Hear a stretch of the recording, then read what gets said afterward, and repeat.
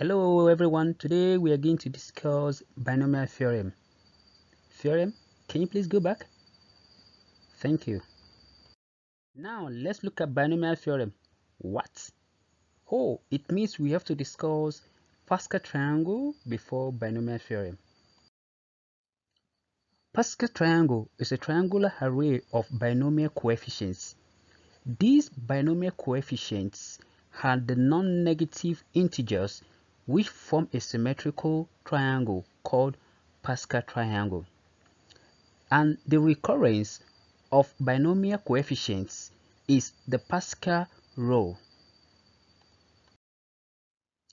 Blaise Pascal, a 17th century French mathematician, was credited for Pascal triangle for the extensive description of the rule in probability theory.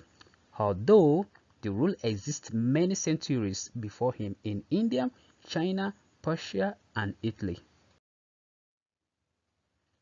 According to commentary of Varahamihira, Pingala documented Pascal triangle in a Sanskrit text around 200 BC called Bashkara. Meanwhile, Halayudha referred the Pascal triangle as staircase of Mount Meru. A Pascal triangle starts with 1.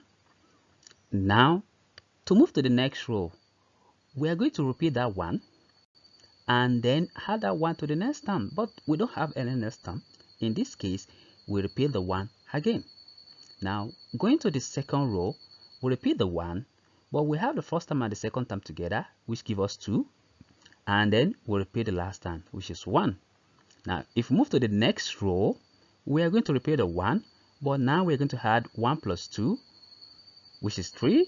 Then the next, we have the 2 plus 1 to give us 3. Then we'll repeat the last term. Now, if we continue this, we are going to have what we have in this table. But there's a combinatorial formula for that. Now, the Pascal triangle, we have n choose k to be n factorial divided by n minus k factorial k factorial, where the exclamation mark is the factorial and factorial is the product of all positive integers less than or equals to n. We need to know that 0 factorial is 1 and 1 factorial is 1. Therefore, 0 factorial equals 1 factorial. Then when we have 0 choose 0 will be 0 factorial divided by 0 factorial 0 factorial which is 1 and n choose n will be n factorial divided by n factorial 0 factorial which is also 1. Now the n factorial notation was introduced in 18 1808 by a French mathematician, Christian Kramp. n factorial equals n into bracket n minus 1 factorial, which is n into bracket n minus 1 up to n minus k, uh, where k equals n minus 1. For examples, we have 4 factorial will be 4 into bracket 4 minus 1, 4 minus 2, 4 minus 3. You multiply everything together, you get 24.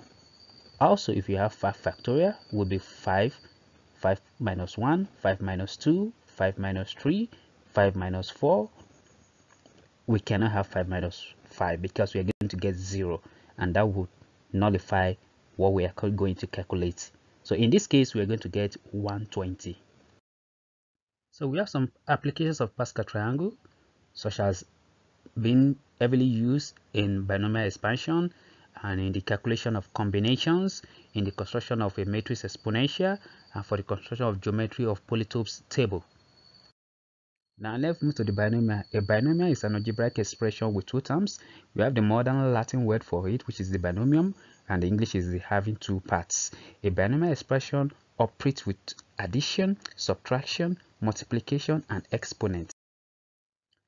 Abubakar Muhammad al-Karaji, a 10th century Persian mathematician, was the first to prove binomial theorem with mathematical induction. He also gave a description of Pascal's triangle. In 1544, Michael Stifel, a German mathematician, introduced higher binomial coefficients. Binomial coefficients are combinatorial quantities expressing the number of ways of selecting k objects out of n without replacements. Therefore, the binomial coefficients are the positive integers coefficients in the binomial theorem.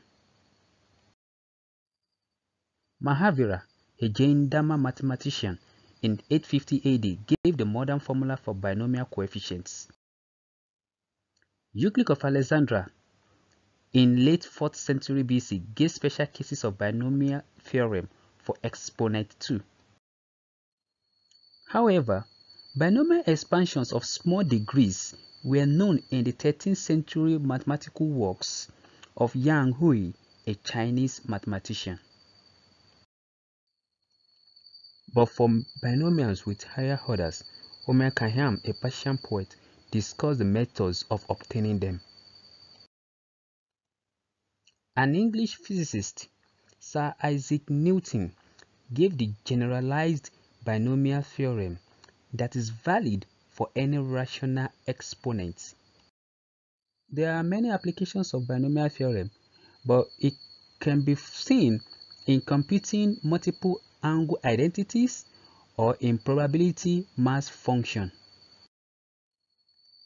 The formula for binomial theorem we have x plus y to the power of n equals n choose 0 x to the power of n y to the power of 0 plus n choose 1 x to the power of n minus 1 y to the power of 1 plus and so on plus n choose n x to the power of 0 y to the power of n. By induction, then we will have x plus y to the power of n to be the summation of n choose k x to the power of k y to the, to the power of n minus k. Let's consider some cases of binomial theorem here. The first case, we have our exponent to be 0, therefore we are going to get 1 because anything that raised to the power of 0 is 1. Now, for the second case, we have our exponent to be 1. Therefore, our binomial coefficient will be 1, 1. And for the third case, we have our exponent to be 2. In that case, our binomial coefficient will be 1, 2, and 1. Now, you can repeat these for the exponent of 3, 4, 5, 6, 7, and so on. And you're going to get the same thing with what we have here. Let's consider this example. We want to expand x plus 2 uh, to the power of 3 and find the binomial coefficient of x to the power of 2y.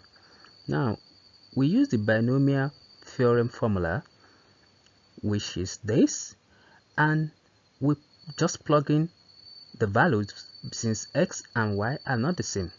Therefore, we are going to have our 3 choose 0 x to the power of 3 2y to the power of 0 plus 3 choose 1 x to the power of 2, 2y to the power of 1 plus 3 choose 2, x to the power of 1, 2y to the power of 2 plus 3 choose 3, x to the power of 0, 2y to the power of 3.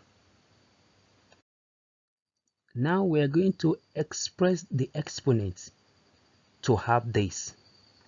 Then further, we do the Pascal triangle in order to get this and in all by the time you multiply all the coefficients with the terms we are going to have x to the power of 3 plus 6x to the power of 2y plus 12x y to the power of 2 plus 8y to the power of 3 therefore the binomial coefficient of x to the power of 2y is 6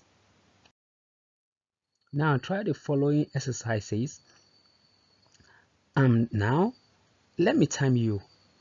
We are going to pause the video and try the questions. Are you ready? Okay. Now if you cannot solve this question i will give you the hints and the solution to the questions so that anytime you see some questions like this you will be able to solve them. Now 1.05 to the power of 4 is not a binomial because in binomial you must have two terms. Therefore you have to split this into two. But be careful not to split it equally because if you do that we have 0.525 plus 0.525 and this is not a binomial. They must be distinct the two terms. But we can have something like 0.75 plus 0.3 or you can have 0.6 plus 0.45 but today I'm going to use 1 plus 0.05 and my final answer will be 1.2155 that is in four decimals. Now let's consider the second example where we have x plus y to the power of 6 if you use the binomial expansions you are going to get this as your final answer. And from there you can then calculate your binomial coefficient of x to the power of 3 y to the power of 3 which is in this case 20 let's consider the third question. For this we are going to regroup this so that those with the common terms are together. And in that case we are going to have this. Now we're going to expand this but the expansion is going to be voluminous. And based on the question we want the one to the power of 3 now in that case using the binomial expansion we are going to have this. And our final answer is going to be in this form. Now we consider the fourth question 1 minus 2x to the power of 5 what we are going to do now is that we are going to regroup the sign because we have the negative in this. Now we are going to have the positive so that it will be easier for us to solve. And for that we have 1 plus into bracket minus 2x all to the power of 5 now if we solve this we are going to get this as our final solution. If you really enjoyed this video please click the like button and the subscribe button. Thank you